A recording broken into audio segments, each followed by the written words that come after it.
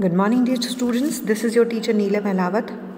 Today we will start with a new chapter that is chapter number 12 Biotechnology and its applications.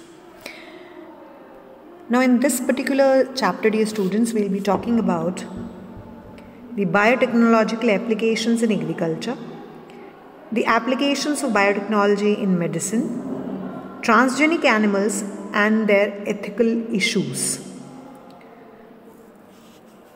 Dear students, we know we have started in the chapter number 11 the biotechnology. The applications, the places where we use biotechnology, isn't it? Yes. And we know that biotechnology is very, very important. And from that chapter, we know that it basically deals with the production of large number of biopharmaceuticals, therapeutics, diagnostics. It also involves the production of genetically modified crops that are highly useful in the agriculture. It helps in processing of food. It helps in bioremediation, plays an important role in the waste treatment as well as the energy production. So we find that biotechnology has expanded its applications into a number of areas. But there are three critical research areas in the biotechnology. And those three critical areas are first, that it provides best catalyst in the form of improved organism using a microbe or a pure enzyme.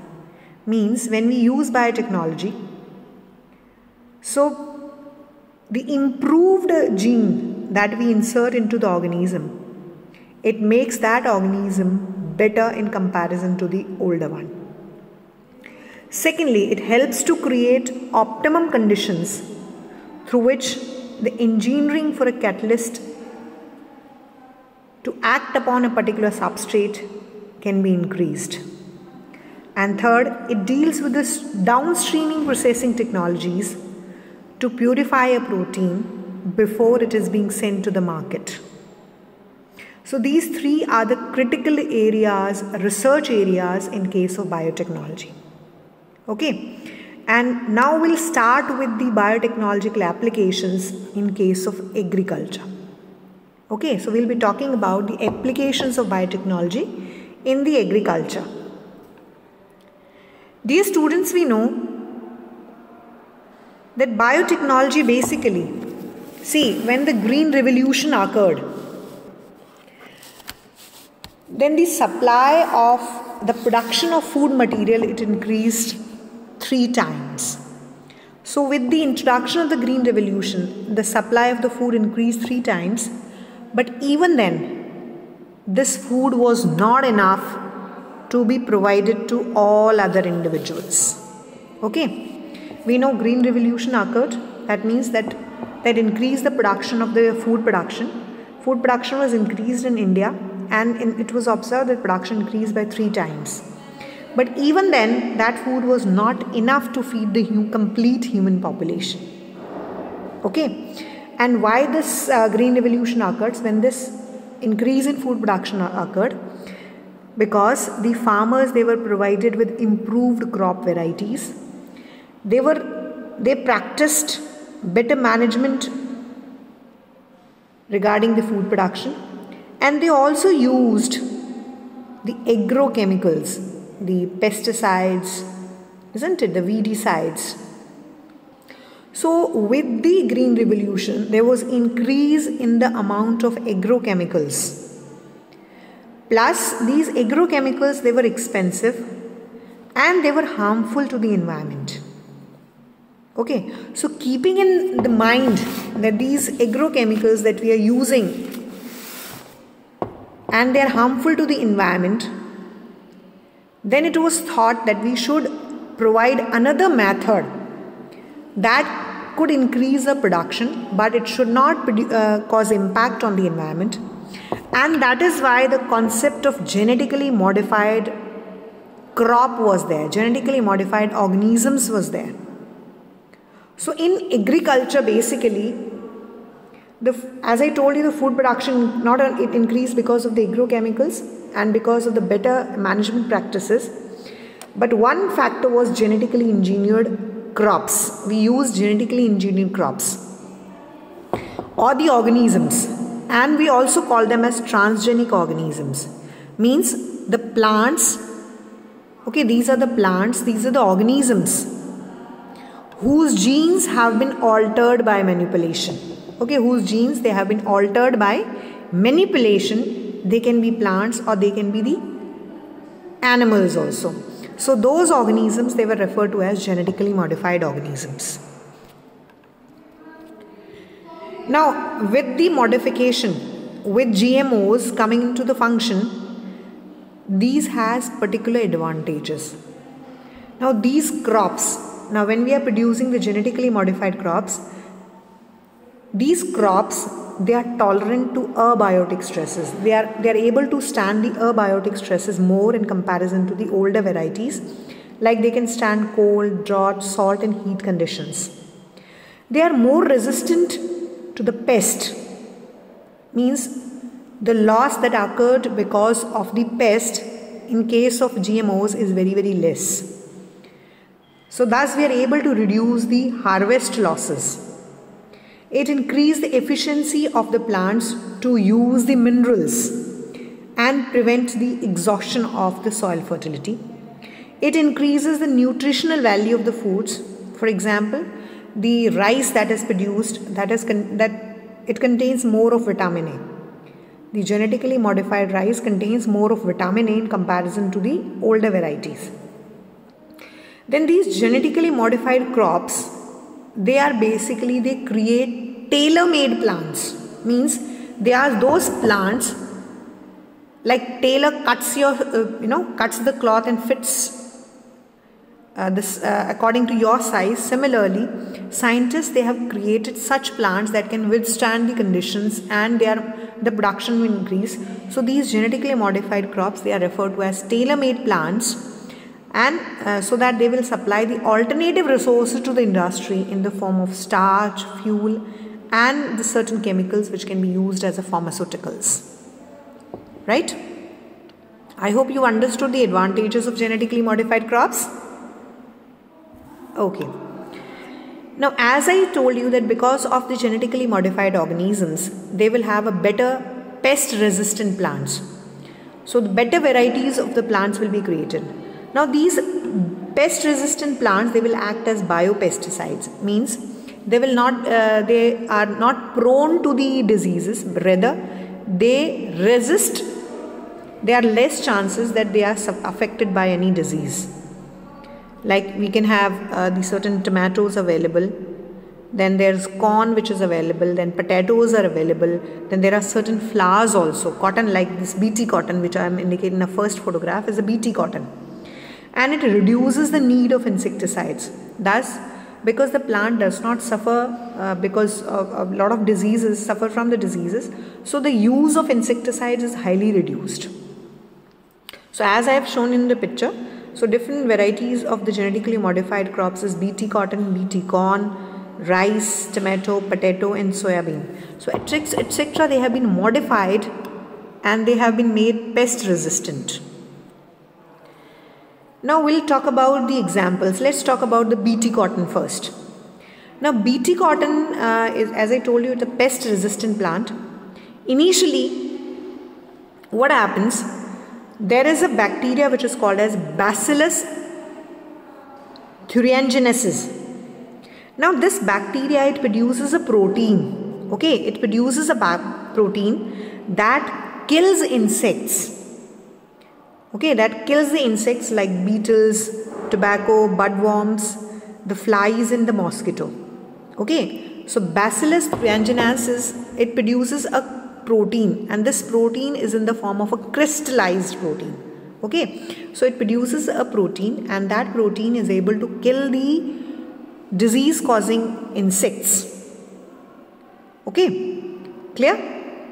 And this particular protein which is referred to as bt toxin this particular chemical which is which kills the proteins is referred to as Bt toxin. As I told you this is in the crystal form and it is only secreted during a particular phase of the growth.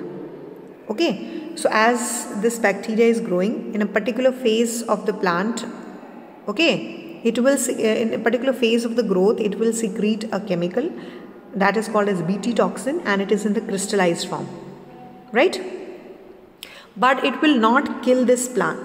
ये इस bacteria को kill नहीं करेगा because it is existing as a inactive prototoxin ये inactive form में secrete होता है. जैसे कि आप यहाँ पर देख सकते हैं this is the bacillus thuringiensis okay which will produce clear? Which will produce this chemical, which is called as bt toxin, and it is in crystallized form. Now when an insect ingests this chemical that is bt toxin then this bt toxin is is activated okay it becomes active because because it becomes soluble in the gut because it becomes soluble in the gut of the insect as there is alkaline pH तो जब insect इसको ingest करता है इसे खा लेता है तो ये उसकी गट में एक्टिव हो जाती है, क्योंकि उसकी गट में जो पीएच होता है वो बेसिक होता है। So because of the basic P H that is present in the gut of the insect it becomes soluble and it becomes active okay then this particular chemical it will bind with the epithelial cells of the gut and it will create pores and because of the creation of the pores in the gut that will cause a cells it will cause a swelling in the it will cause lysis and then it will be responsible for the death of the insect. So let's see uh, let's understand the help of the uh, photograph. देखिए ये हमारा organism है जिसने crystallised form में हमारा BT toxin को release किया है। ना बीटी टॉक्सिन जो है वो क्रिस्टलाइज्ड फॉर्म में है।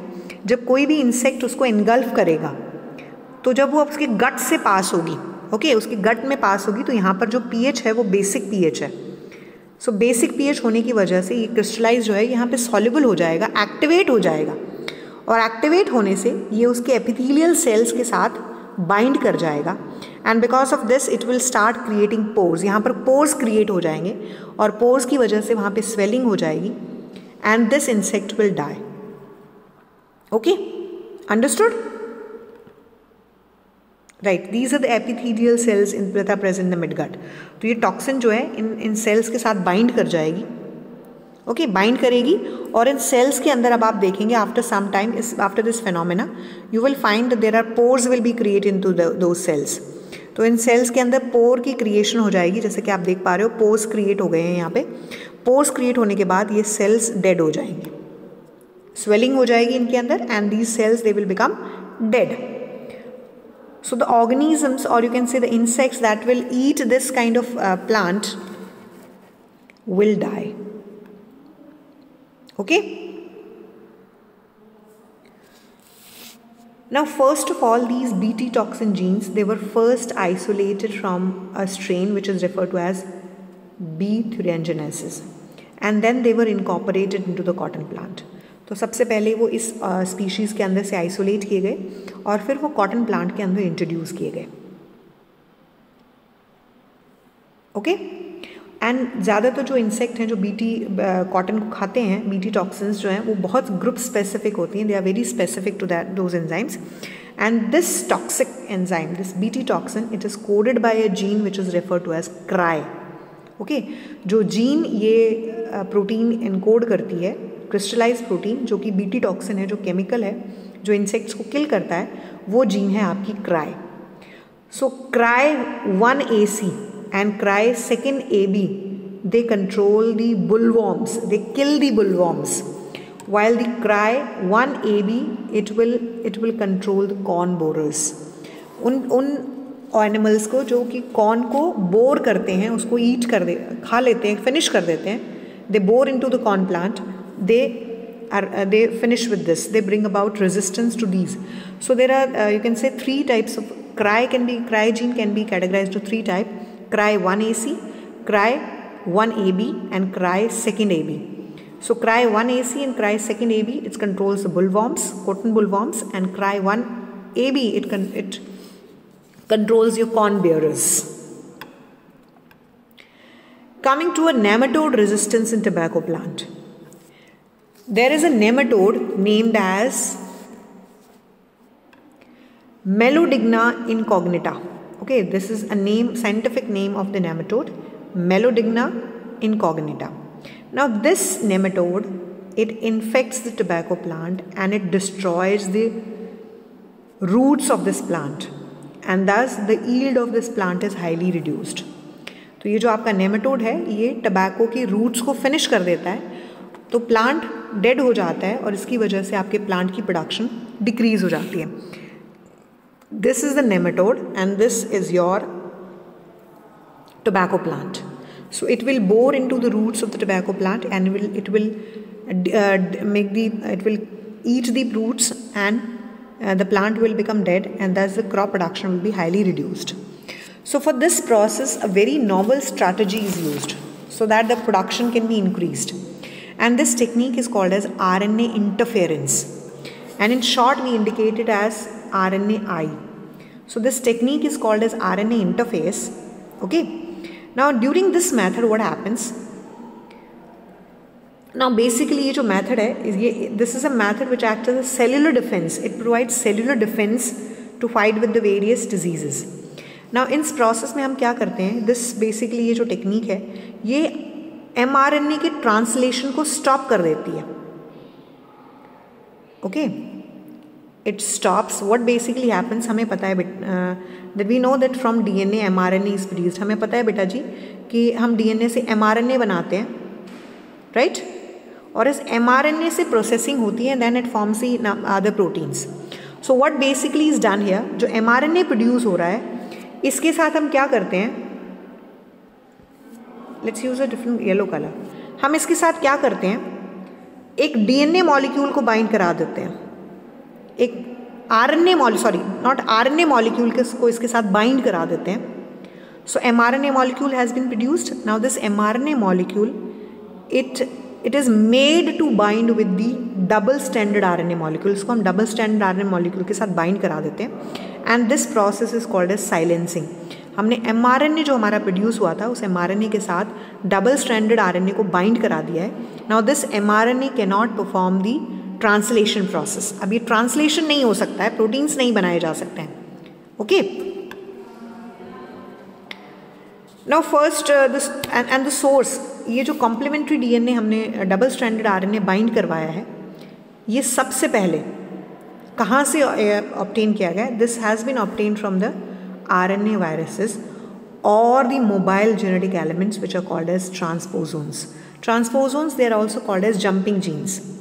तो जो कॉम्प्लीमेंट्री डबल स्ट्रैंडेड आरएनए हमने एमआरएनए के साथ बाइंड कराया है, वो हम ऑप्टेन करते हैं आरएनए वायरसेस से या ट्रू ट्रांसपोजोन से through the replication process okay replication process से हम वो complementary double standard RNA obtain कर लेते हैं और फिर इस डबल स्टैंडर्ड आरएनए को हम एमआरएनए से बाइंड करा देते हैं दिस प्रोसेस कॉल साइलेंसिंग अब एमआरएनए जो है, वो ट्रांसलेशन में पार्टिसिपेट नहीं कर सकता है okay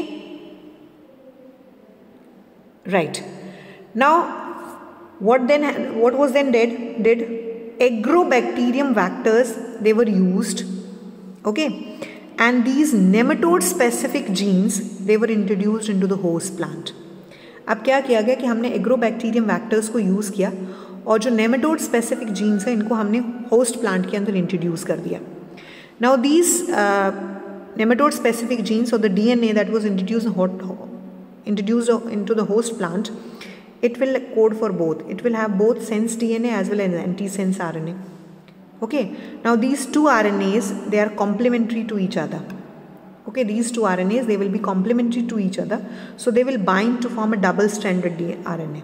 तो ये दोनों आपस में बाइंड कर जाएँगे और डबल स्टैंडर्ड आर बन जाएगा अब ये डबल स्टैंडर्ड आर हम जो है उस नेमाटोड के साथ बाइंड कराने के लिए यूज़ करेंगे ठीक है क्लियर हमने डबल स्टैंडर्ड आर कैसे ऑप्टेन किया? हमने एग्रोबैक्टीरियम वैक्टर्स को यूज़ किया। उनके उनके अंदर DNA specific genes nematode specific genes को इंट्रोड्यूस किया।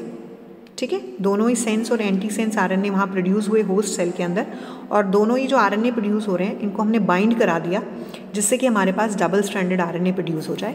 And now this double standard R N will be use for interfe R N interference okay and thus this parasite के not survive in the transgenic host और जो ये आपका parasite है अब ये आपके ट्रांसजेनिक होस्ट में सर्वाइव नहीं कर सकता है clear so now your plant will be healthy अब आपका जो plant है tobacco plant it will be healthy while in other conditions it was it was being destroyed by the nematode okay so this is again one of the examples where pest resistant varieties they are more suitable as they are uh, they are prevented from diseases so if we if we grow such type of plants in our in our crop in our crop fields then invariably I can say that the production will automatically increase and we'll be using less amount of chemicals in our fields. Okay. Any doubt beta ji? Okay, so I hope you've understood these two particular phenomena. I've given you two examples, one of the nematode resistance and second is the BT cotton. So if you have any doubt, you can ask me. Okay, so we'll be doing this much today. So you'll be making notes of this topic and you will be uh, reading the page numbers 207 to 209 and if there is any doubt any query that you feel you need to discuss you can contact me. Okay? Okay beta ji bye everyone